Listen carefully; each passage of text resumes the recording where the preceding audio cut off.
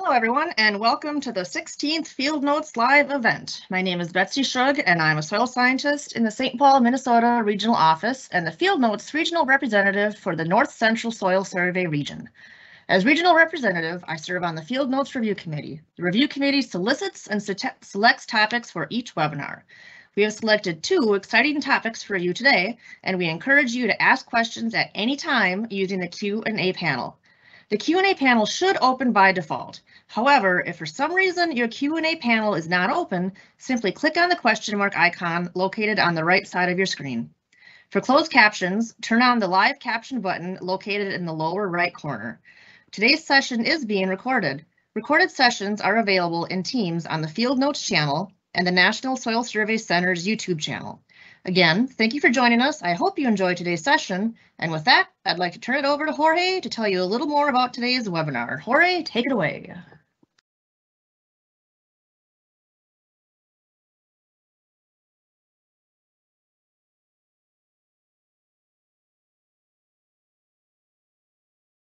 Uh, You're on mute, Jorge. Hey, sorry about that. Good afternoon, everybody. I am Jorge Lugo sitting uh, for Dave Hoover, who is not able to, to attend today's webinar. Today we have two great presentations and I don't want to spend any time on the introductions, so I would like to turn it to Dr. Beyhan Amichev, who is going to talk about soil sampling for carbon, soil carbon inventories.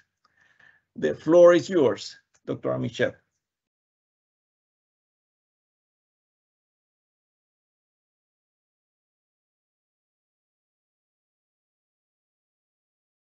Thank you so much, Jorge. I appreciate the introduction. Uh, can uh, can you confirm that you can hear me? Okay. Uh, yes, we can my, hear you. Thank you. My name is Beyhan Amichev. Uh, I'm a soil scientist in the South Central Soil Survey region uh, in the Nacogdoches and Bryan, Texas MLRA office. Uh, and I want to thank you for this opportunity to present um, an important work on carbon inventories uh, at this venue. Um, this work was done uh, some time ago and it was part of my doctorate program at Virginia Tech and the focus at the time was still uh, car soil carbon sequestration and ways to bring this uh, work to the public awareness. Um, the work was done on mine soils, um, and before I delve into it, I, I want to spend a minute to um, explain what mine soils are. They are anthropogenic soils uh, created by uh, coal mine operating uh, companies after they mine the coal. And uh, this slide gives the typical progression of uh, mountains being mined for coal and then converted into uh, uh, a, a, topography that resembles the original topography, but now we have mined soils. And in the top left picture, uh, you can see um, the separation that happens during this process of what is available as uh, topsoil material and weathered material that will include the A, B, C, and R horizons, and uh, the the gray crushed rock that would be the overburden material, which is also removed in order to get to the coal seams, and and these materials are, are put aside uh, until reclamation uh, commences. At the top right graph is one of the approaches of um, reclaiming the mine sites back to the original topography. And uh, you can see the dozer here spreading the mixed topsoil materials and weathered overburden, which is intended as the plant growth uh, medium after reclamation. Uh, if sites are reclaimed properly, um, uh, they can be very productive as this is an example at the bottom right uh, picture showing eastern white pine at 18 years of age. Uh, the rationale of doing this work uh, was that there are hundreds of thousands of hectares across the US of coal mine land, and these lands are usually considered to be empty cups in terms of carbon storage.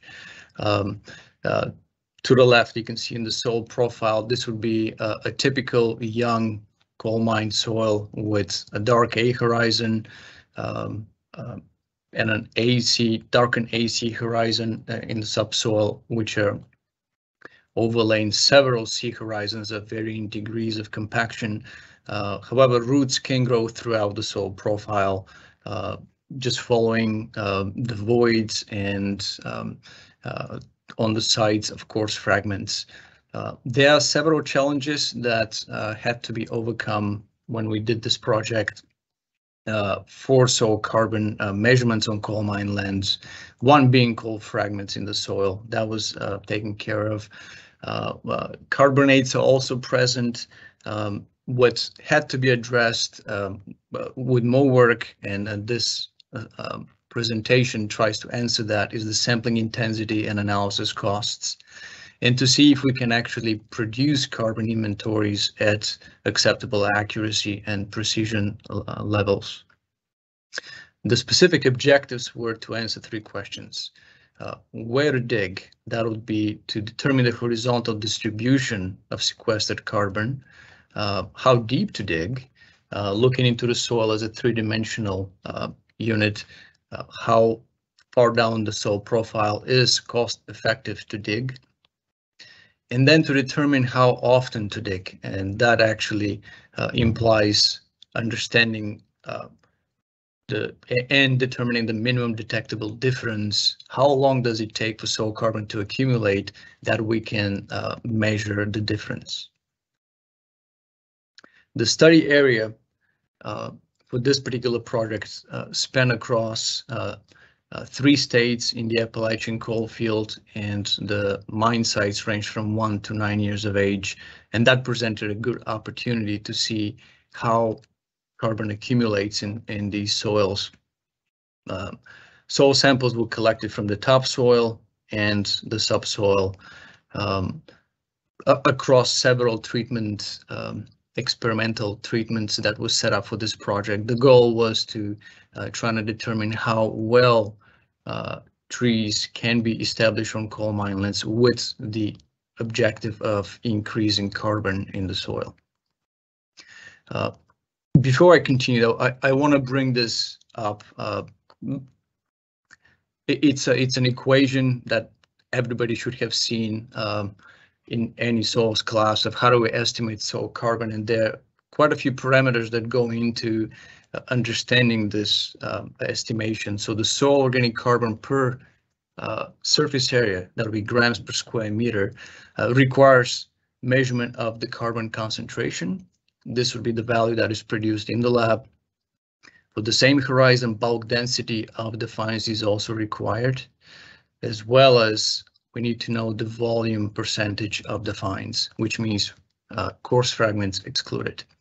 Uh, all of these are required per horizon. If there are many horizons down the soil profile, every individual horizon have to have uh, has to have these values.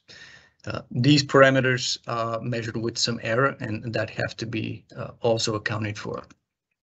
Now moving on to another very important statistic, uh, semivariance modeling. Uh, we, we, are uh, fortunate in this uh, day and age to have fast and capable computers and using imagery and so forth. Uh, and one of these uh, statistics that can help determine how things vary across space is the semivariance modeling, which basically means how similar are things that are close by and how dissimilar are things that are far away. Uh, one visual example of semivariance modeling would be to get a point data like the map on the left and convert this into a map that is very useful for decision making in terms of carbon sequestration uh, rates and targeting areas with high carbon sequestration and probably making different plans for those areas that are not as uh, prone to a higher rate of sequestration. Um, now, this was applied for the mine lands, and again, uh, the first set of results for the horizontal distribution. Uh, these values that I'm showing here, meaning uh, that their spatial dependence uh, are useful to know how far between uh, sampling points one can afford to do the inventories. And for West Virginia, a four-year-old mine site, that was at 590 meters. Uh, for the Ohio site being a nine-year-old site, it was still up to 575 meters of spatial dependence. Now, before I continue, I want to bring uh, your attention to this slide and, and sort of have a look at the two uh, uh, Ohio 1 and Ohio 3, two sites on the right-hand side of, of, the map, and then the Ohio 2 at the bottom uh, there. They have very different rates of carbon sequestration. And this created a good opportunity to determine the difference uh, of sampling intensity. And, and this is what I want to uh, kind of bring, bring to your attention uh, for the rest of the slides. Uh, the sampling intensity, um, this would basically mean how many pits do we need per hectare to come up with a value that has a certain probability level, precision, and a certain accuracy level. The accuracy would be how far from the mean are we when we estimate the average of, let's say, four holes or 17 holes or 60 holes. Uh, what I've circled here on the left would be the number of pits on the Ohio 2 site with the lower soil organic carbon value and 17 pits will yield only a 95% probability level of precision at the 15% accuracy. If we really want accurate values, then we need to go to the highest 60 pit, but is that practical? Uh, probably not. So when inventories are planned, uh, one has to have these numbers, these uh, uh an example table like this, uh, prior to commencing and prior to doing an inventory. On the other hand, for sites that have higher carbon sequestration, um, the sampling intensity, of course, is lower. So the two uh, graphs show this uh, compared very well. On the right-hand side, we only need three plots or, or, pits per hectare or 31 per 10 hectares and compared to the Ohio 2 site, which is almost three times higher. Now moving on to the next component of the vertical distribution of soil organic carbon and trying to answer those questions. What is the cost of maximum cost effective depth and the minimum detectable difference? Uh, these are profile graphs that many of us have seen um, and they're useful to understand how far carbon can accumulate down the soil profile. The graph to the right uh, is probably more informative in terms of answering a question. Uh, where is the carbon or how deep do we have to dig the pits in order to account for most of the carbon? In this case, for the Ohio sites, uh, one third of the site, one third of this organic carbon will be uh, within the 0 to 40 centimeter uh, profile two thirds will be down to 120 centimeters. But if we really want to account for all of the carbon, then we need to go down to two meters. But is that, again, is that cost effective? Um, in order to determine the maximum cost effective depth, um, we converted the volume of the soil that is being excavated and analyzed, prepared and analyzed to uh, a value what would be the cost per soil pit, and then convert the value of the carbon that is being estimated for the sampling intensity into another value that would be the profit per ton of carbon. And the uh, numbers that I'm showing here, um, obviously they can change uh, annually, they can change by um, by country, they can change by project. Uh, but just for this example, using 127 uh, dollars per ton of elemental carbon and a cost of $8 per pit per centimeter, these values can be uh, put in, in such a way they can be estimated to determine the profit to cost ratio. Uh, the column to the very right and moving down the uh, the profile, uh, there would be a point, a limit, at which the profit to cost ratio would become less than one. And this ultimately means we're losing money.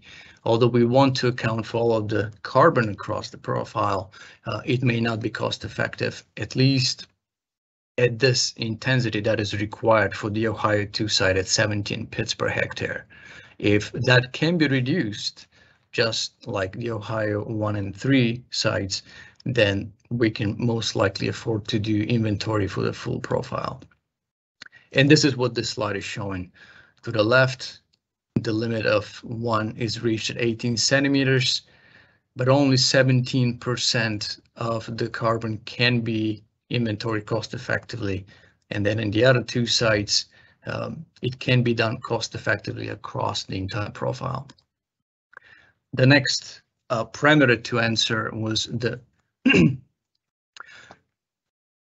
minimum detectable difference, and that would be the statistical statistically significant difference of two carbon values, one measured in the future, let's say in 30 years, and, an, and the other one would be the value measured today. Are they statistically different? The values that are being produced today, they of course have an error estimate, and that would be the uh, the confidence level of those values. So this is with the mean, and then uh, with with the green brackets here is the indication of the uncertainty of that value. Now, when this is converted into um, the time that is required to sequester enough carbon into the future, uh, you'll have a graph similar to this to the right, and I've turned it into a significant quote unquote years until future carbon inventory. What this means is that if we were to determine uh, carbon increase, significant, statistically significant increase on the Ohio sites for a full profile down to 200 centimeters, then we need to wait for 40 years for carbon to accumulate enough that there is statistical significance between the two values. Um, and uh, for the Ohio 2 site, that is 32 years, but it's only down to 18 centimeters. Um, during this work, uh, uh, we also created a protocol of trying to help landowners who are willing to set up carbon sequestration projects on their uh, lands. And this protocol can also be applied for other ecosystems uh, where there is insufficient soil organic carbon data uh, or there is high variability in, in those ecosystems. Uh, one, one point that uh, I want to make with this slide is that uh, both shallow pits as well as deep pits are needed when inventories are planned. We need to know the horizontal distribution and then also the vertical distribution. And equally important is when this will be repeated at certain uh, uh, periods into the future, every 30 years or so, then uh, it's a good idea to also set aside reserve plots. In the next few slides here, um, um I just want to summarize all this and, and let let it sink in. Um, again, the rule of thumb for anthropogenic soils um, is that they are uh, created and uh, uh, managed in, in, in, by man, um, by people that have an, a task that has to be accomplished. However, they don't follow the rules of the rest of the world. And so we need to plan in a smart way how to sample, how to create um, uh, sampling inventory plans uh, that will reduce costs. So a good idea is to utilize all the tools available, geostatistical analysis being one. And the ideal scenario would be to target project areas with high soil organic carbon stocks and low variation. Uh, before any inventory is set up, uh, uh, it is highly recommended to have an idea of what the site uh, what are we dealing with on those sites and how deep and when to dig. So the MCD and the MDD parameters will be uh, uh, helpful very, uh, with this decision. Um, for accounting uh, in the soils, there is another point that we can uh, improve on, and that would be the cost of sampling. Um, with new technologies uh, that are being available now in labs, uh, I, I want to mention the mid-infrared spectrometry analysis.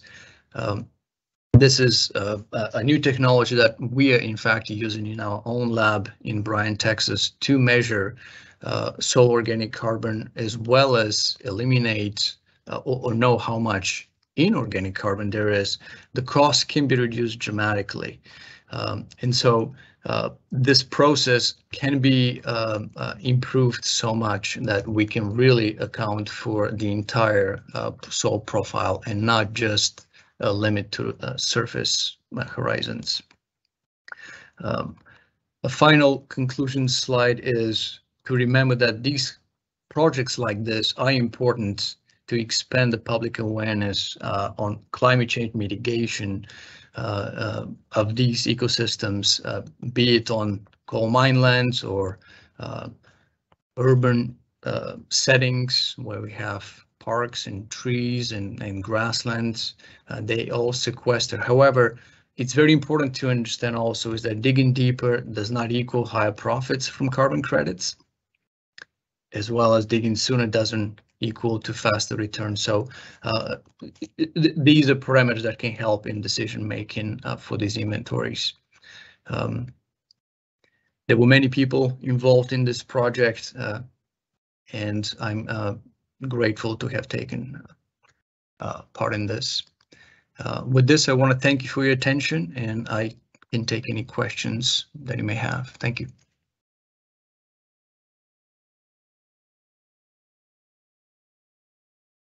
Yes, I'm see I'm seeing few questions here in the chat. So uh, the first one, have there been experiments with mycelial inoculation on mine restoration sites to see if that improve tree recruitment and carbon accumulation?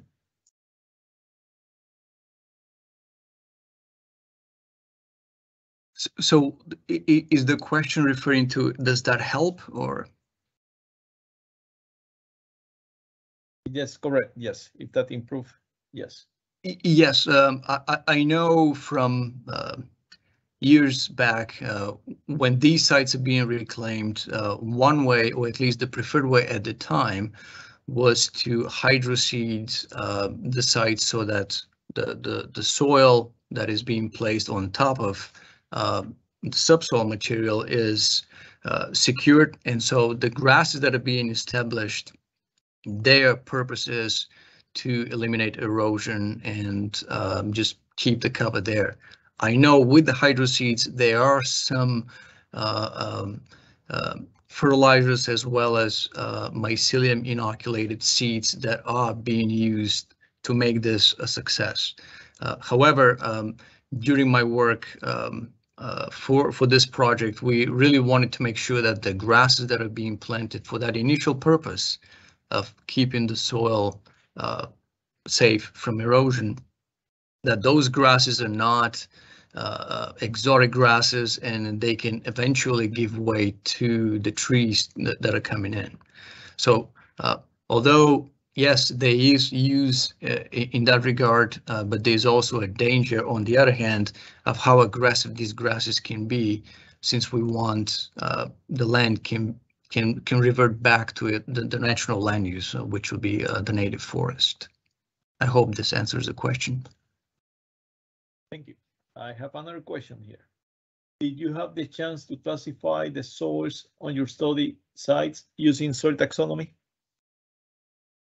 Uh, no, not not at the time. We really had a focus on um, the the carbon accounting part. I know there's a push with anthropogenic soils um, uh, in this day and age, but uh, some time ago, uh, no, we did not. I don't see any other questions. Oh, there is one more that just popped up, Jorge. Yes, I see it. Okay. Did you compare carbon across different reclamation methods?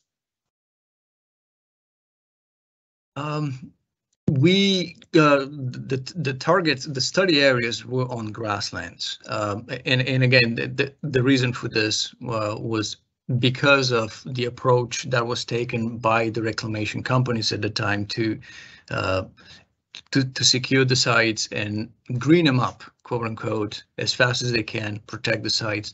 We, we didn't really have the luxury uh, or uh, uh, the choice between different reclamation uh, approaches. Um, my understanding is that uh, now there's a different requirement for the mining companies to follow. Uh, they they definitely uh, have to meet regulatory uh, policy and make sure that um, uh, the sites are returned back to the same productivity as before. Um, some of the sites, one one project, in fact, the the pictures that I'm showing here are from a from an eight-year-old mine site in Virginia, in the southwestern part of Virginia, and uh, th this this site was uh, uh, previously used for uh, hunting leasing. Um, uh, our goal was to essentially help uh, the owners of this site to determine if grasslands are just being left as they are uh, uh, accumulating enough carbon or should they revert to uh, planting trees. And, and as you can see here, there is some uh, trees that are coming in within the site uh, in eight years, in fact, uh, without any particular planting. So um, it will be something that is important to do to try to determine which reclamation activities are better or not. Just some some time ago that was not uh, available to me.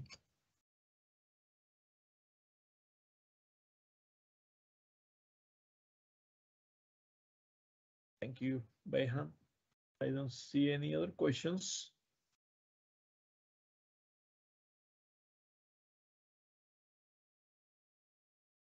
So before moving to the next uh, presentation, I would like to uh, give the announcement to please save the date for the next next webinar on September 13, 2022. If you have a good work that you would like to share with everybody, please work with your supervisors or your regional directors so you can be a next presenter. Our next presenter is Austin Price from the Raleigh MLRA office, and he's going to talk about reclamation, restoration, and the, the coastal zone soil survey project. Austin, the floor is yours. Alrighty, thank you.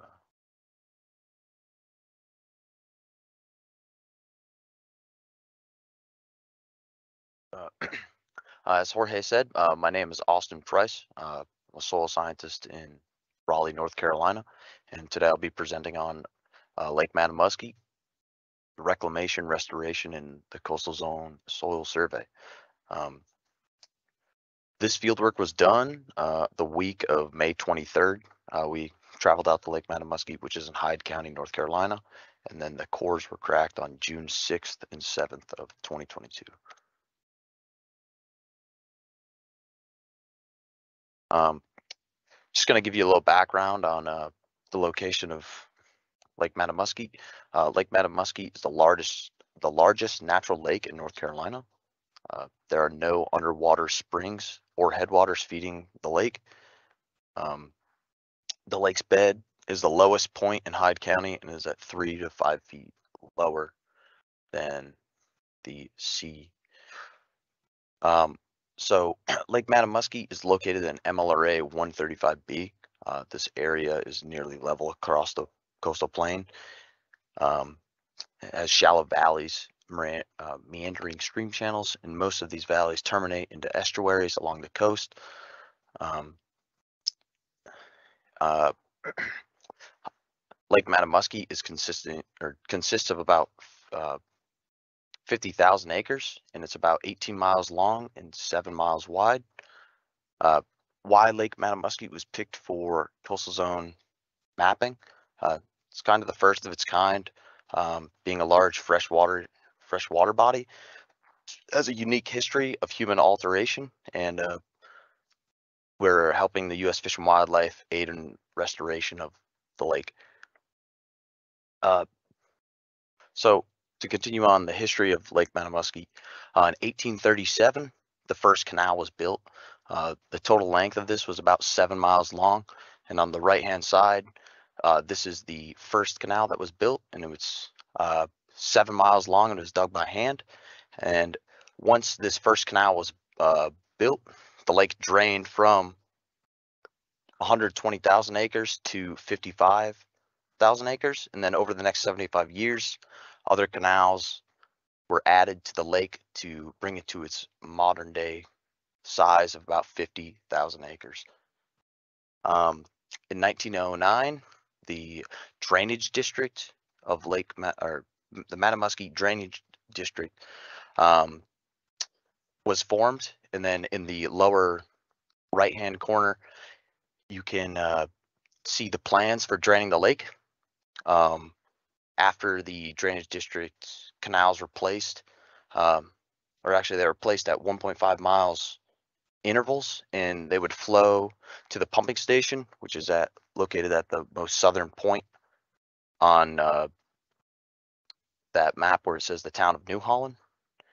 Um, since the lake bed was below sea level, the district uh, created these canals to carry fresh water to the Pamlico Sound, which is uh, further south of uh, Bay. Um,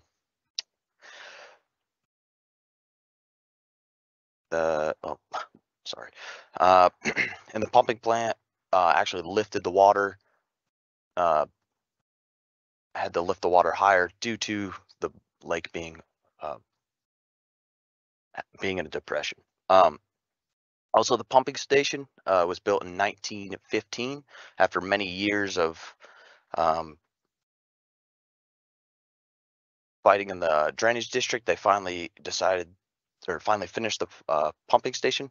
At one time, the pumping station was the largest pumping plant in the world that would drain and reclaim to what many at the time to believe many at the time believed to be the richest soil in America.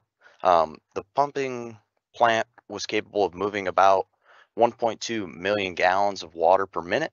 Um, to put that in perspective, it's about the same amount of water that goes over Niagara Falls every 16 seconds. So it's a it's quite a lot, and this pumping station was uh, steam powered. Um, and then the lake was dry or drained and reclaimed three times in 1916, 1920, and 1926. And then in 1926, it kept the, the lake dry for the next five years. And then in 1932, pumping stopped. Um, the pumping stopped due to the siltiness of the soils on the bottom of the lake. Uh, at one time, they had four dredgers running uh, 12 hours a day to keep the pump running efficiently and uh, allowing sh- uh, coal ships to navigate the channels without running into uh, uh, silt bars just from the large amount of drainage that was going on.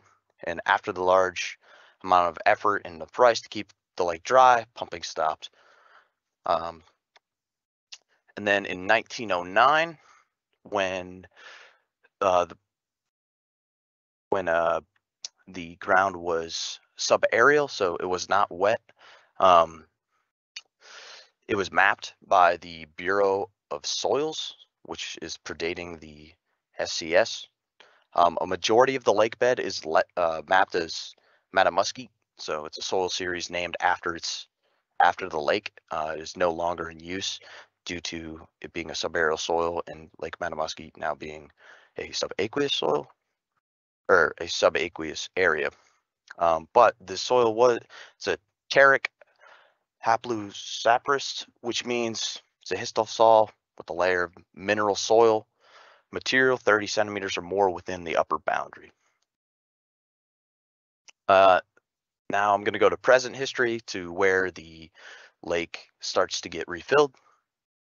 Um, in 1934, the U.S. government uh, took over the running of Lake Mattamuskeet, and since 1934, um, the U.S. government has owned the lake and has and created the Lake Mattamuskeet Migratory Waterfowl Waterfowl Refuge. And during the 1930s, the Civilian Conservation Corps removed all the pumping equipment and turned the pumping station, which was on the first slide, into a a lodge.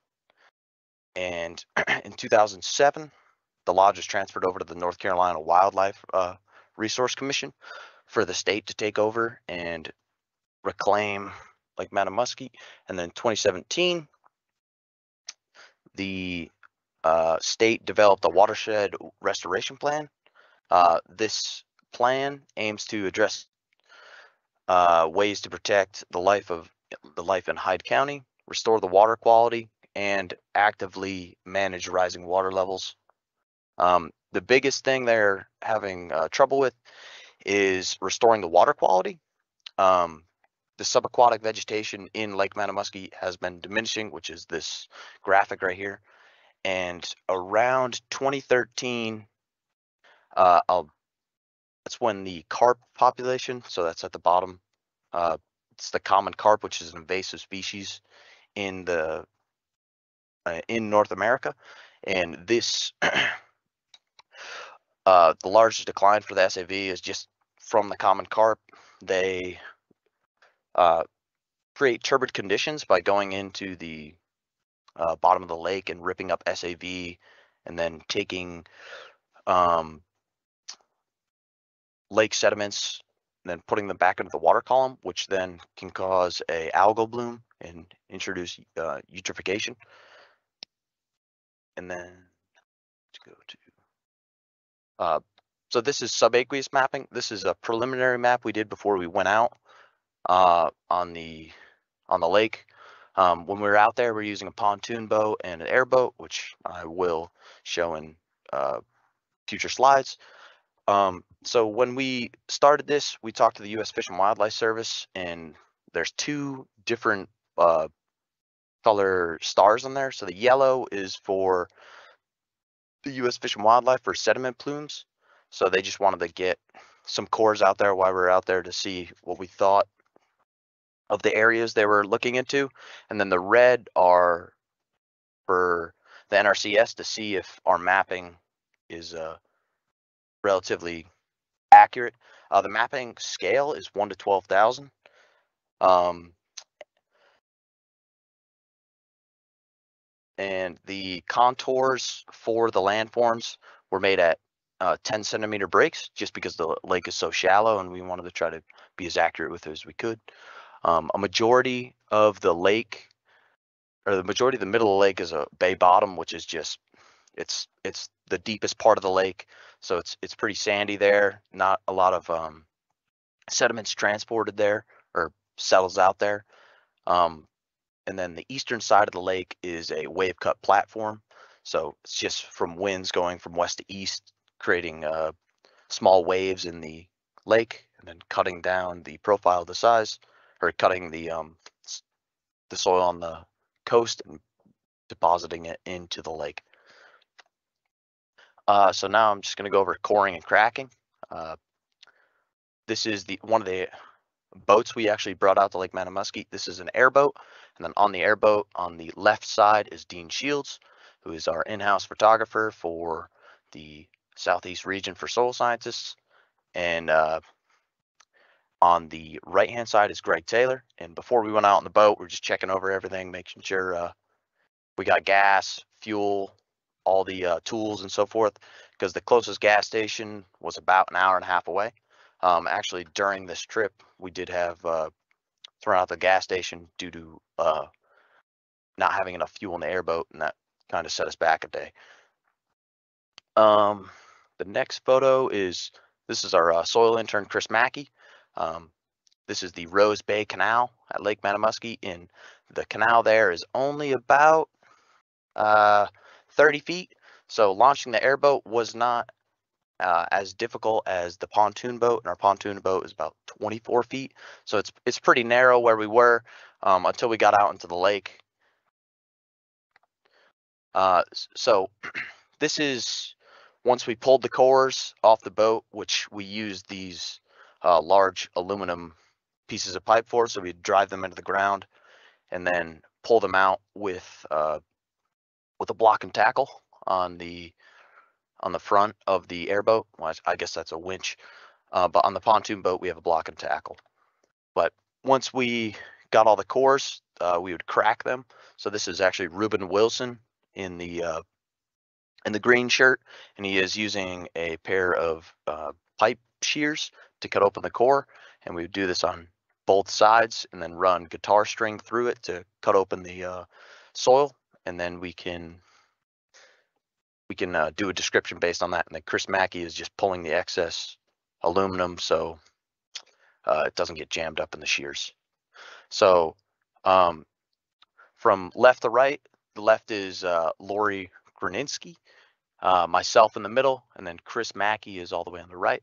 So as we saw in the last photo of Ruben and Chris cutting the core, that's what the core comes out to be once it is cut and run guitar string through it. So we lay it out, we take a photo of it beforehand, and then we will do a description. Uh, on to subaqueous mapping. Um, after pulling the cores and cracking them, uh, we just wanted to reconfigure our landforms based on what we saw. Um, a big takeaway from what we learned about the lake is it's a lot less diverse in soils than we thought, um, but it's more interesting. For example, in the uh, northwestern corner, uh, there's this light blue and this sea of dark blue. It's actually settled organics while we we're out there.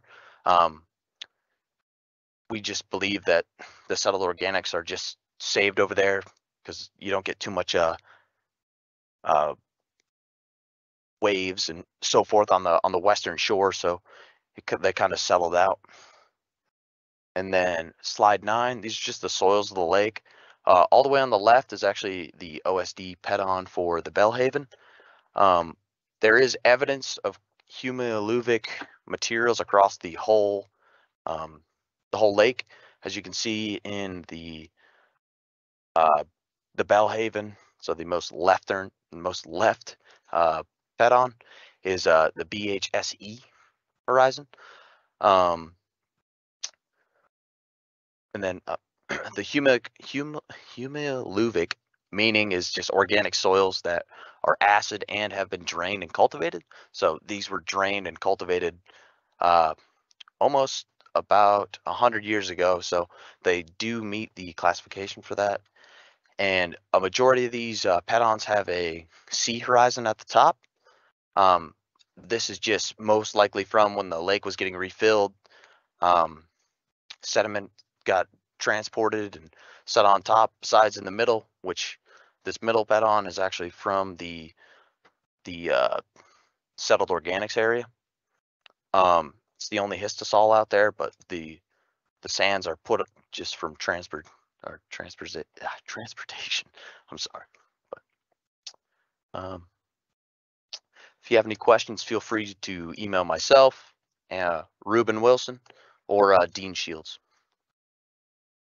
Thank you.